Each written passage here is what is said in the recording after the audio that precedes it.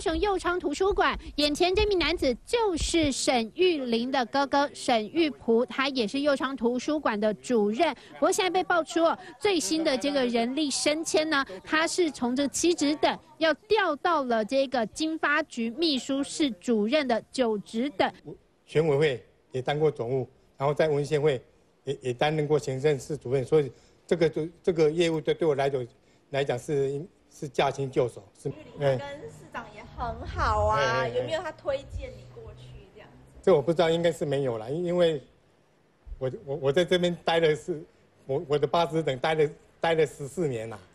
听到跟沈玉玲是否有帮忙呢？这个哥哥是有点结巴的表示说不知道，但也强调说，因为他就职公仆呢是已经二十七年的时间了，目前在右昌图书馆的职等其实是实际上是八职等的缺，主要大家会质疑，就是因为这个沈玉玲，他是好几次呢跟这个高雄市长韩国瑜开直播，跟市府的关系可以说是非常密切的。这个议员也质疑说。这两样图书馆跟经发掘业务好像没有直接关系，能不能上手也受到质疑。但经发局强调说，用人升迁都是依规定办理的，而且是借重沈玉璞在地震专业的财产管理，还有工程规划等等的经验，所以呢才会有这样升迁。